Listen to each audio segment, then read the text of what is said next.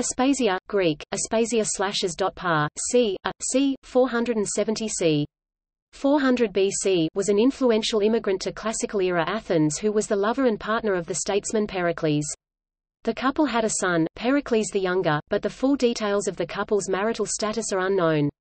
According to Plutarch, her house became an intellectual center in Athens, attracting the most prominent writers and thinkers, including the philosopher Socrates. There are also suggestions in ancient sources that the teachings of Aspasia influenced Socrates. Aspasia is mentioned in the writings of Plato, Aristophanes, Xenophon, and others. Though she spent most of her adult life in Greece, few details of her life are fully known. Many scholars have credited ancient comic depictions of Aspasia as a brothel keeper and a prostitute despite their inherent implausibility. Aspasia's role in history provides crucial insight to the understanding of the women of ancient Greece. Very little is known about women from her time period. One scholar stated that, to ask questions about Aspasia's life is to ask questions about half of humanity.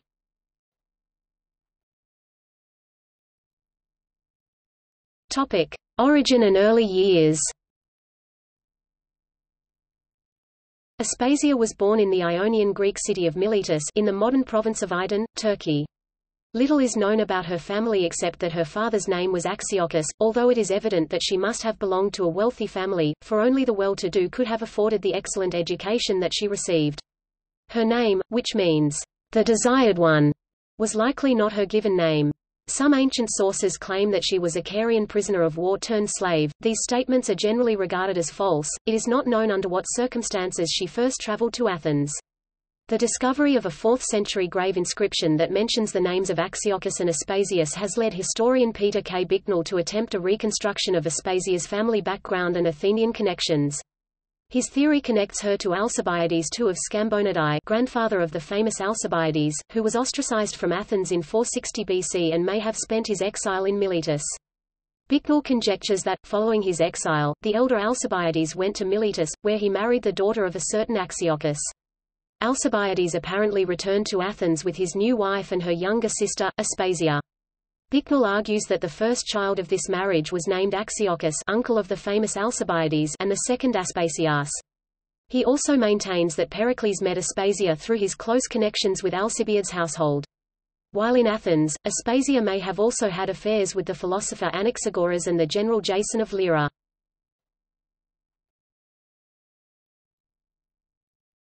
Topic: Life in Athens. According to the disputed statements of the ancient writers and some modern scholars, in Athens Aspasia became a hetaira and ran a brothel. Hetairai were professional high-class entertainers, as well as courtesans. Besides displaying physical beauty, they differed from most Athenian women in being educated often to a high standard, as Aspasia evidently was, having independence, and paying taxes. They were the nearest thing perhaps to liberated women, and Aspasia, who became a vivid figure in Athenian society, was probably an obvious example. According to Plutarch, Aspasia was compared to the famous Thargelia, another renowned Ionian hetaira of ancient times. As a non-Athenian woman, Aspasia was less bound by the traditional restraints that largely confined Athenian wives to their homes, and appears to have taken the opportunity to participate in the public life of the city. She became the companion of the statesman Pericles around 445 BC. After he divorced his first wife perhaps c. 450 BC, Aspasia began to live with him, although her marital status is disputed. Their son, Pericles the Younger, must have been born by 440 BC. Aspasia would have to have been quite young, if she were able to bear a child to Lysicles c. 428 BC in social circles. Aspasia was noted for her ability as a conversationalist and advisor rather than merely an object of physical beauty. Plutarch writes that despite her immoral life, friends of Socrates brought their wives to hear her converse.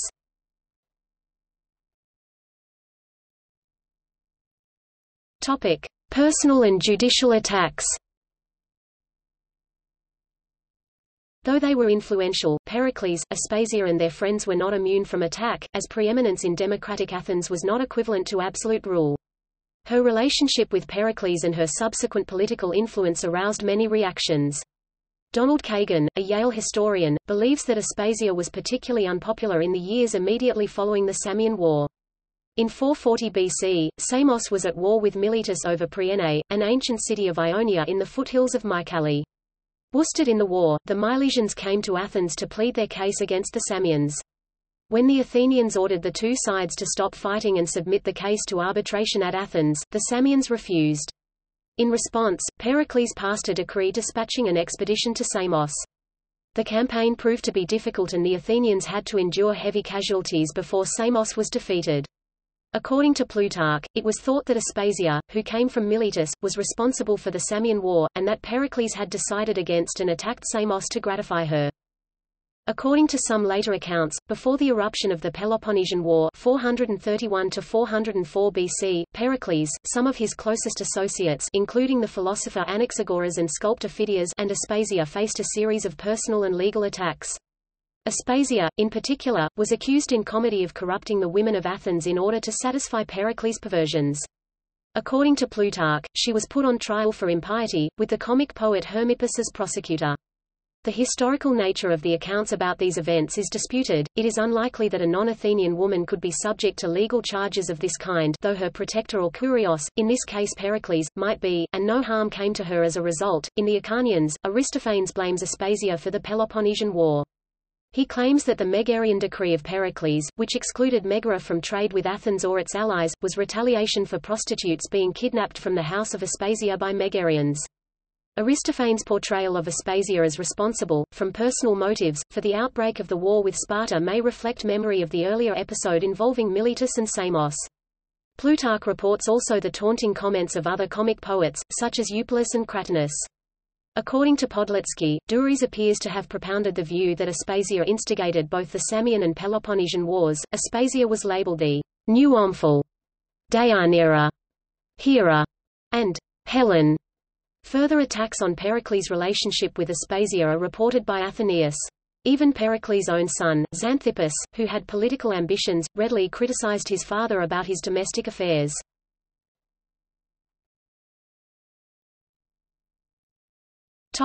Later years and death.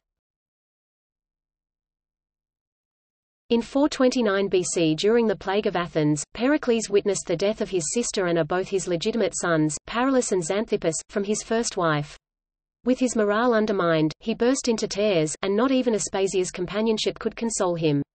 Just before his death, the Athenians allowed a change in the citizenship law of 451 BC that made his half-Athenian son with Aspasia, Pericles the Younger, a citizen and legitimate heir, a decision all the more striking in considering that Pericles himself had proposed the law confining citizenship to those of Athenian parentage on both sides. Pericles died of the plague in the autumn of 429 BC. Plutarch cites Aeschines Socraticus, who wrote a dialogue on Aspasia now lost, to the effect that after Pericles' death, Aspasia lived with Lysicles, an Athenian strategos general and democratic leader, with whom she had another son, and that she made him the first man at Athens. Lysicles was killed in action on an expedition to levy subsidies from allies in 428 BC. With Lysicles' death the contemporaneous record ends. It is unknown if she was alive when her son, Pericles, was elected general or when he was executed after the Battle of Arginusae. The time of her death that most historians give c. 401 to 400 BC is based on the assessment that Aspasia died before the execution of Socrates in 399 BC, a chronology which is implied in the structure of Aeschines Aspasia.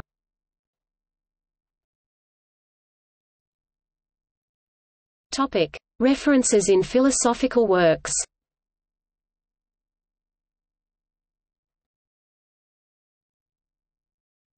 Topic: Ancient philosophical works Aspasia appears in the philosophical writings of Plato, Xenophon, Aeschines Socraticus and Antisthenes. Some scholars argue that Plato was impressed by her intelligence and wit and based his character Diotima in the Symposium on her, while others suggest that Diotima was in fact a historical figure.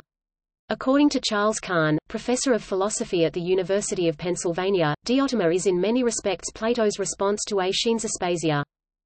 In Menexenus, Plato satirizes Aspasia's relationship with Pericles, and quotes Socrates as claiming ironically that she was a trainer of many orators and that since Pericles was educated by Aspasia, he would be superior in rhetoric to someone educated by Antiphon.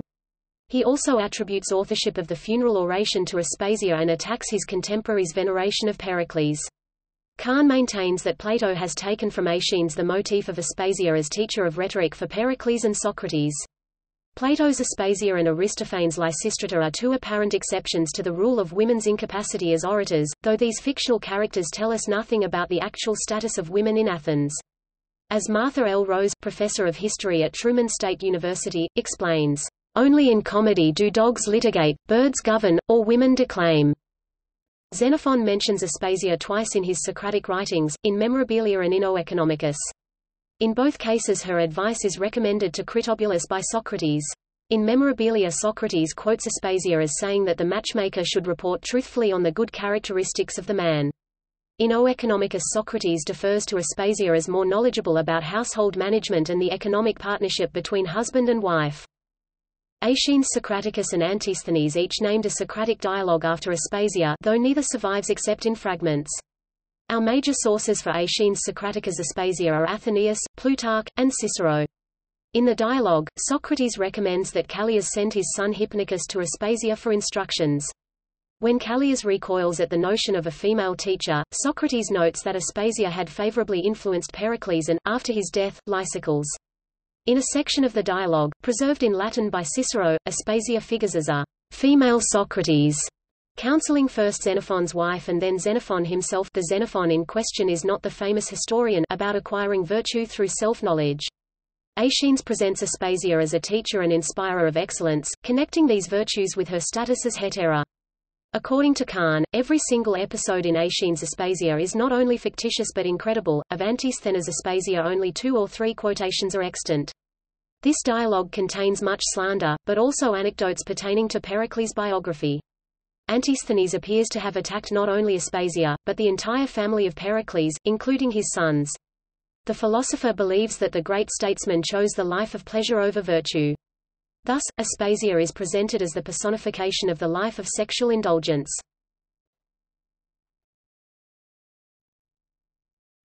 Topic: Modern literature. Aspasia appears in several significant works of modern literature. Her romantic attachment with Pericles has inspired some of the most famous novelists and poets of the last centuries. In particular the Romanticists of the 19th century and the historical novelists of the 20th century found in their story an inexhaustible source of inspiration. In 1835 Lydia Maria Child, an American abolitionist, novelist, and journalist, published Philothea, a classical romance set in the days of Pericles and Aspasia. This book is regarded as the most elaborate and successful of the author's productions, in which the female characters, including Aspasia, are portrayed with great beauty and delicacy. In 1836, Walter Savage Landor, an English writer and poet, published Pericles and Aspasia, one of his most famous books. Pericles and Aspasia is a rendering of classical Athens through a series of imaginary letters, which contain numerous poems. The letters are frequently unfaithful to actual history but attempt to capture the spirit of the age of Pericles. Robert Hamerling is another novelist and poet who was inspired by Aspasia's personality. In 1876 he published his novel Aspasia, a book about the manners and morals of the age of Pericles and a work of cultural and historical interest. Giacomo Leopardi, an Italian poet influenced by the movement of Romanticism, published a group of five poems known as the Circle of Aspasia. These Leopardi poems were inspired by his painful experience of desperate and unrequited love for a woman named Fanny Targioni Tozzetti. Leopardi called this person Aspasia, after the companion of Pericles. In 1918, novelist and playwright George Cram Cook produced his first full-length play, The Athenian Women, an adaptation of Lysistrata, which portrays Aspasia leading a strike for peace. Cook combined an anti-war theme with a Greek setting. American writer Gertrude Atherton in The Immortal Marriage 1927 treats the story of Pericles and Aspasia and illustrates the period of the Samian War, the Peloponnesian War and the Plague of Athens. Taylor Caldwell's Glory and the Lightning 1974 is another novel that portrays the historical relationship of Aspasia and Pericles.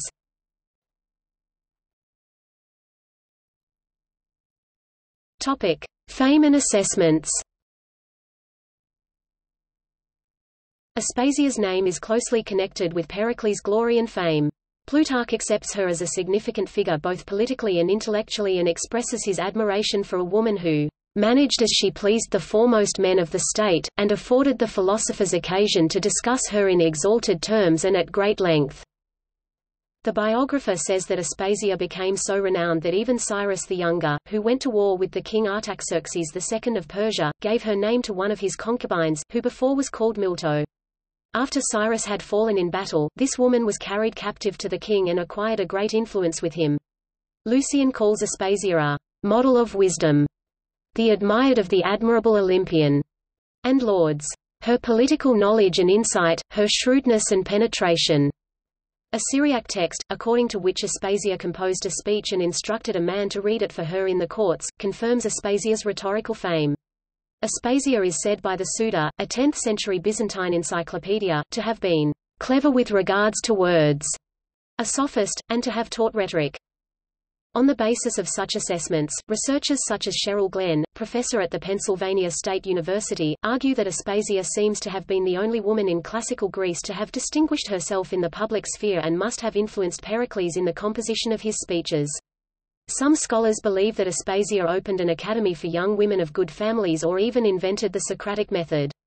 However, Robert W. Wallace, professor of classics at Northwestern University, underscores that we cannot accept as historical the joke that Aspasia taught Pericles how to speak and hence was a master rhetorician or philosopher.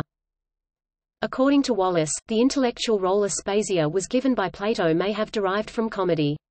Kagan describes Aspasia as a beautiful, independent, brilliantly witty young woman capable of holding her own in conversation with the best minds in Greece and are discussing and illuminating any kind of question with her husband. Roger Just, a classicist and professor of social anthropology at the University of Kent, believes that Aspasia was an exceptional figure, but her example alone is enough to underline the fact that any woman who was to become the intellectual and social equal of a man would have to be a hetaira. According to senior Prudence Allen, a philosopher and seminary professor, Aspasia moved the potential of women to become philosophers one step forward from the poetic inspirations of Sappho.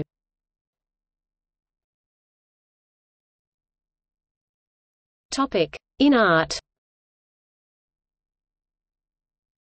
The 1979 installation artwork The Dinner Party by feminist Judy Chicago has a place setting for Aspasia among the 39 figured. Aspasia is a character of Assassin's Creed Odyssey who is portrayed as the lover and partner of the Athenian statesman Pericles.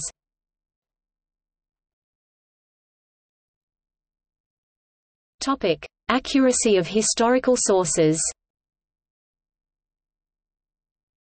The main problem remains, as Jona Lendering points out, that most of the things we know about Aspasia are based on mere hypothesis. Thucydides does not mention her, our only sources are the untrustworthy representations and speculations recorded by men in literature and philosophy, who did not care at all about Aspasia as a historical character. Therefore, in the figure of Aspasia, we get a range of contradictory portrayals, she is either a good wife like Theano or some combination of courtesan and prostitute like Thargelia. This is the reason modern scholars express their skepticism about the historicity of Aspasia's life, according to Wallace. For us Aspasia herself possesses and can possess almost no historical reality. Hence, Madeline M. Henry, professor of classics at Iowa State University, maintains that Biographical anecdotes that arose in antiquity about Aspasia are wildly colorful, almost completely unverifiable, and still alive and well in the 20th century. She finally concludes that it is possible to map only the barest possibilities for Aspasia's life. According to Charles W. Fornara and Loren J. Samons II, professors of classics and history, it may well be, for all we know, that the real Aspasia was more than a match for her fictional counterpart.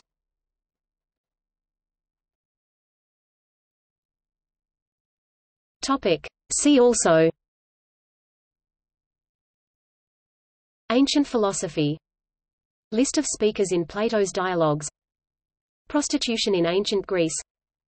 Timeline of ancient Greece. Notes